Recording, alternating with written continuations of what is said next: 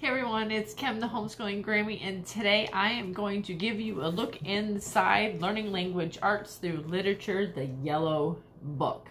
So if you're interested, stick around and we'll get started.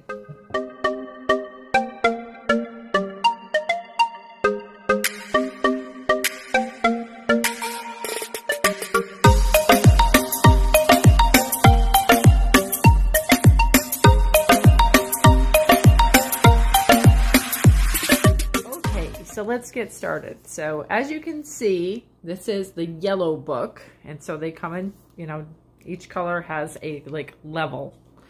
Um, and so we're using yellow this year for third grade.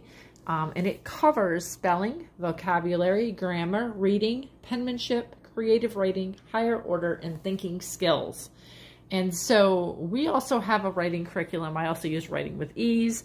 So we don't do all of the writing or the creative writing portion in this book because we have a separate writing curriculum.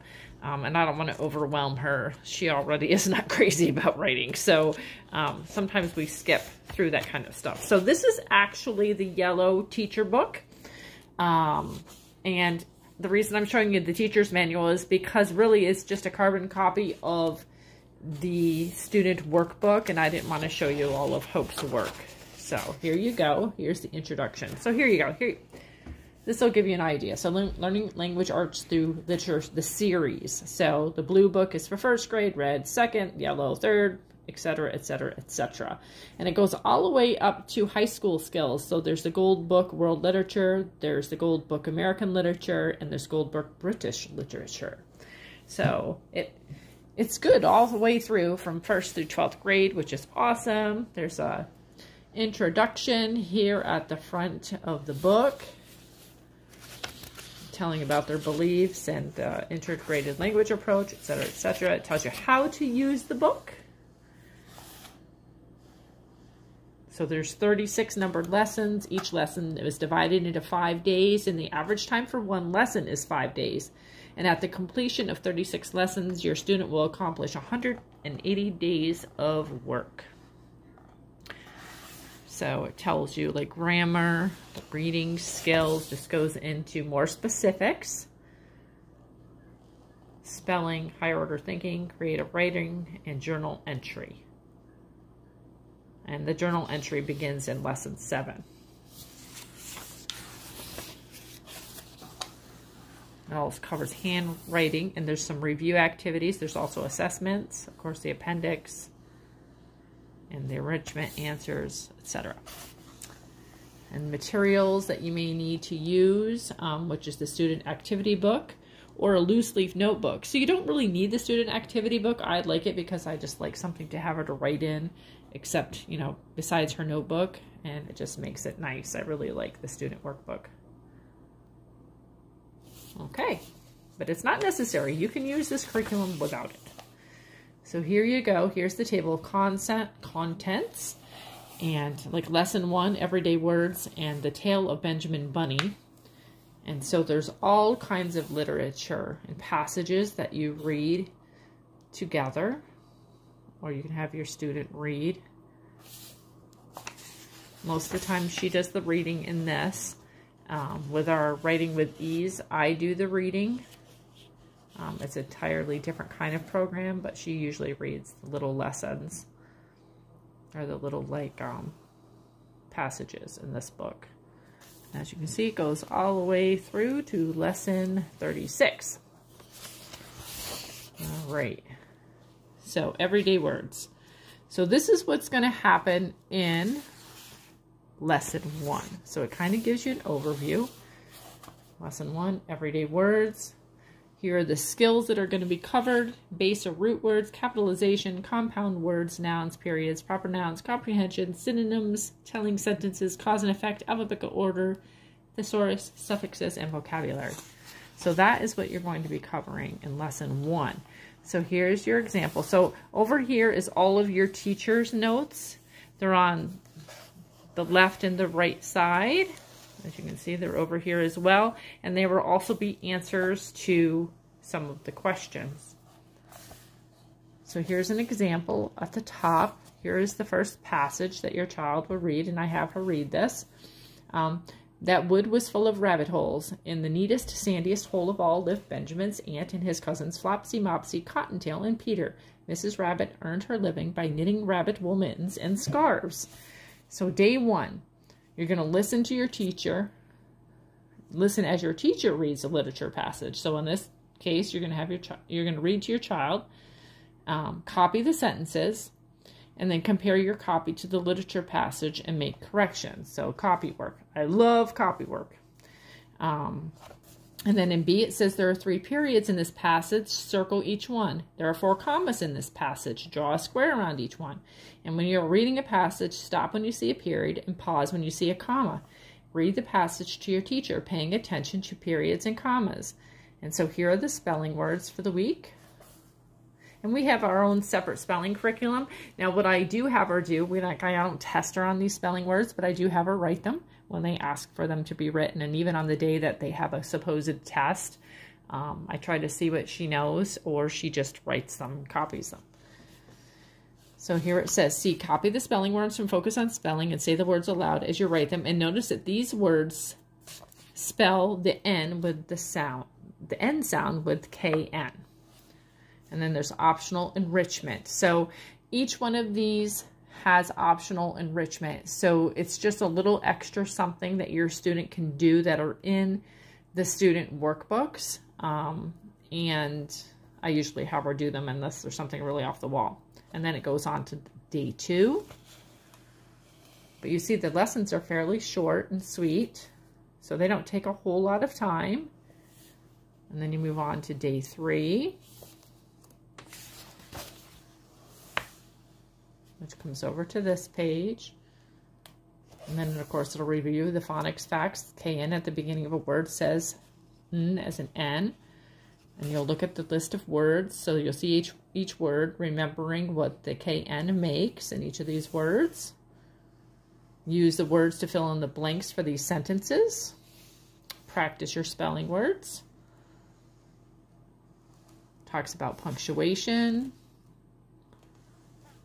And then here, here's an example where you can have your student either correct these orally or in writing. And I, you know, we go back and forth. Sometimes we do it in writing and sometimes not. So they need to go, go into each sentence, put in the correct punctuation and capitalization. Um, then you choose a book that you'd like to read, show your teacher at least two spelling telling sentences, take your spelling pretest. Um, Look at the passage from day one. How did Benjamin find his aunt's rabbit hole in the wood filled with rabbit holes? Use your imagination to write three sentences describing Mrs. Rabbit's home. You may include information about her children and her work. Take your spelling spelling test. You can do the optional enrichment, and then there's also handwriting. So cursive is introduced in this book, and I, so I will go ahead a little bit in this so you can get an idea. Because we've been doing cursive. And Hope was so excited to do cursive this year. Like, she could not wait to do cursive. So here we go. I think it started in this lesson. Lesson 13, I do believe.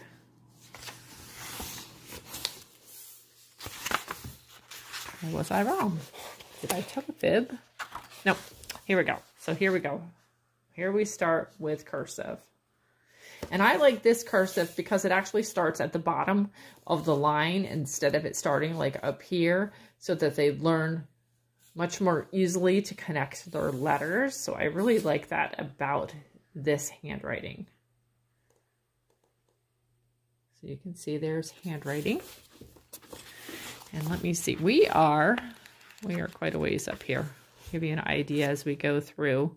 Oh, you know what I want to show you? And this is the thing that we tend to skip. We have been skipping these chapters because, or these lessons, um, because we do writing with ease, and I don't feel that that is necessary. It's kind of like overkill. So we do a lot of passage reading, and we do exactly the same kind of thing that is going on in this book.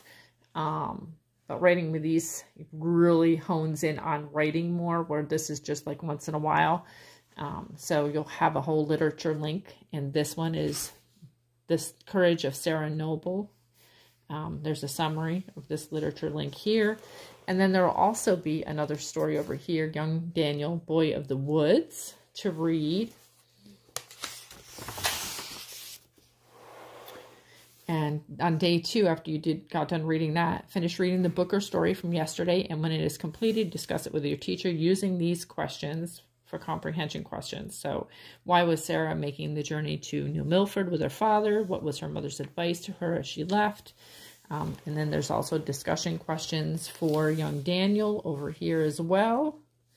Um, so, you know, it's really awesome. And like I said, we tend to skip this part because Writing with Ease covers these kinds of passages in depth. And I don't want to overwhelm her with too much writing. Goes all the way to day five again. And then there's like a little assessment an I Can assessment literature link on Frontier Life. So after the literature link on Frontier Life is completed, check if I can objective with your teacher. C, I can complete my work. I can be creative. A, I can be accurate. I can do my work with good attitude. And I can do my work neatly. So I'll give you an idea how it ends at the end of the book. Like the last lesson. So when you get to lesson 36, once again, you're going to have your little passage or poem that you're going to read. This day, on the second day, they're working on verbs showing past tense by adding ed. Um, you're also going to tell about um, actions happening now, present tense, like slept and sleep, gave and give, Match the following verbs with the irregular past tenses. Play a verb matchup game. Um, small words that come before nouns and they tell us what a noun is coming. A, and, and the are called part articles. Um, and circle the A and the and in the poem. And these words tell you that a noun is coming. Write the article that comes before oak in your story. And then you can look at this list and see if you can think of a rule that might tell you when to use a and when to use an. So write a or an in each blank. And then on day four, we have learned much wisdom, wisdom about being wise and foolishness. From this week's poem, what do you think makes this owl wise?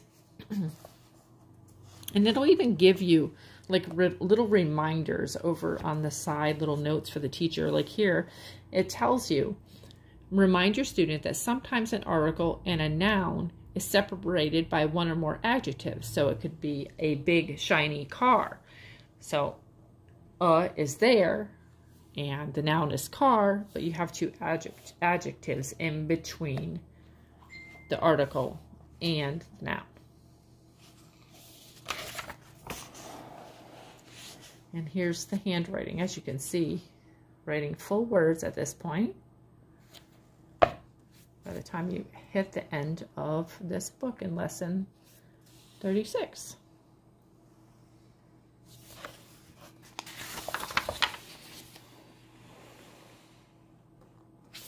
And then there's review activities.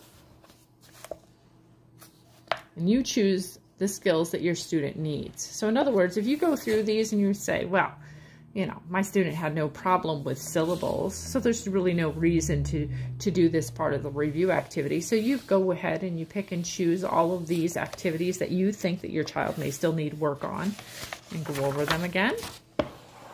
And then there's assessment on the back, and the assessment 8 is for lessons 33 through 36. And in this final assessment, they're saying add quotation marks to these sentences, um, replace underlined words with pronouns, what write the past tense of these verbs and show that the action already happened and write the articles a or an in the blanks. And then there's a bunch of um, extra writing practice. There's an extra writing practice page in the back, and this can be photocopied for extra writing practice. So it tells you right here on the bottom that you're allowed to photocopy it so that you have extra writing practice. And then, of course, we have your appendix where it has your enrichment answers, your skills index, your punctuation pointers, grammar guides, phonics facts, using your tools, focusing on writing and bibliography. So it gives you all the answers to the, all the enrichment questions here in the back. Because for whatever reason, they didn't put them, they didn't, excuse me, they didn't put them in with the lessons. Where all the other answers are actually in with the lessons. So there you have it. That is Learning Language Arts Through Literature, the Yellow Book. Okay, that's all I have for you today. Learning Language Arts Through Literature, the Yellow Book. I forgot that fast. So I hope that this was a blessing to you. If you have any questions, please feel free to ask me down in the comments, and I will talk to you again soon. God bless.